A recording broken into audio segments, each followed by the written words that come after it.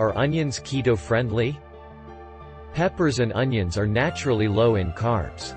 One half cup of sliced onions contains slightly more than 5 grams of carbs.